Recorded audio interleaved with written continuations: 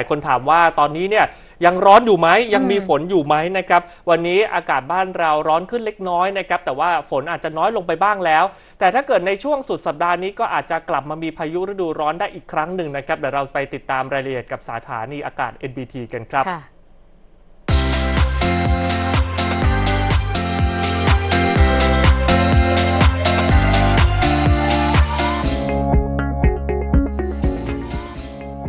สวัสดีค่ะ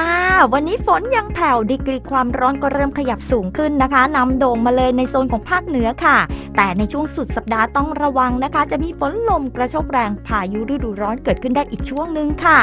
วันนี้ฝนยังน้อยเพราะว่าลมใต้ลมตะวันออกเฉียงใต้ที่พัดปกคลุมประเทศไทยตอนบน มีกำลังอ่อนลง ในขณะที่ลมฝ่ายตะวันตกในระดับบน พัดปกคลุมภาคเหนือและภาคตะวันออกเฉียงเหนือตอนบนอยู่ ก็จะทำให้มีอากาศร้อนและร้อนจัดบางพื้นที่ และมีพายุฝนฟ้าขนองลมกระโชกแรงลดลงในช่วงนี้ค่ะ โดยภาคเหนือกลับมามีอากาศร้อนถึงร้อนจัด อุณหภูมิสูงสุดวันนี้ 42 องศาเซลเซียส มีฝนฟ้าขนองที่แม่ฮ่องสอน เชียงใหม่ เชียงราย ลำพูน ลำปาง พะเยา น่าน แพร่ อุตรดิตถ์ ตาก พิษณุโลก และเพชรบูรณ์ภาคตะวันออกเฉียงเหนือพื้นที่ฝนอย่างไม่มากนะคะ ตกได้ที่เลย หนองคาย บึงกาฬ หนองบัวลำพู ชัยภูมิ นครราชสีมาและบุรีรัมย์ อุณหภูมิสูงสุดวันนี้ 37 องศาเซลเซียสส่วนภาคกลางค่ะ อากาศกลับมาร้อนแต่ยังไม่ถึงขั้นร้อนจัดจ่อๆอยู่ค่ะ อุณหภูมิสูงสุดวันนี้ 36-39 องศาเซลเซียส มีโอกาสเกิดฝนได้ที่นครสวรรค์ อุทัยธานี ชัยนาท กาญจนบุรี ราชบุรี ลบบุรี สระบุรี และสิงห์บุรี ขณะที่กรุงเทพมหานครและปริมณฑลวันนี้ อุณหภูมิสูงสุด 38 องศาเซลเซียส ภาคตะวันออกอุณหภูมิขยับขึ้นมาหน่อย สูงสุด 37 องศาเซลเซียส ยังมีฝนเกิดขึ้นได้ที่นครนายกปราจีนบุรีสระแก้ว ฉะเชิงเซาชลบุรี จันทบุรีและที่ตราด ทะเลคลื่นสูงต่ำกว่า 1 เมตรภาคใต้ฝั่งอ่าวไทยค่ะมีโอกาสเกิดฝนที่สุราษฎร์ธานี นครศรีธรรมราช สงขลา ปัตตานียะลานราธิวาส อุณหภูมิสูงสุด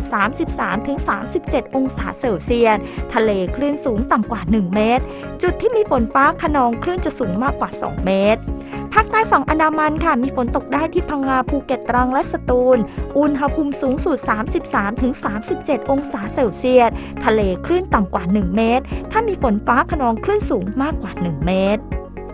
ฝุ่นละอองหมอกควันในโซนของภาคตะวันออกเฉียงเหนือภาคกลาง ภาคตะวันออกและภาคใต้มีการสะสมของฝุ่นละอองหมอกควันน้อยนะคะ การระบายตัวของอากาศในช่วงนี้ดีค่ะ เว้นแต่ภาคเหนือค่ะ มีการสะสมของฝุ่นละอองหมอกควันอยู่ในเกณฑ์ปานกลางถึงค่อนข้าง มาก รอลุ้นในช่วงสุดสัปดาห์นะคะ จะคลี่คลายสถานการณ์ได้ไหม จะมีพายุฤดูร้อนเข้ามาอีกช่วงหนึ่ง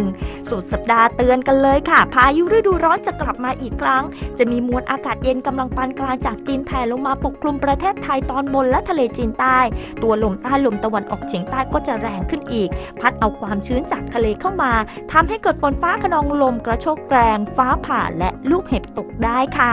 กลับมาตรวจสอบสภาพอากาศกันอีกครั้งนะคะ ในข่าวาวเที่ยง NBT News ช่วงนี้สวัสดีค่ะ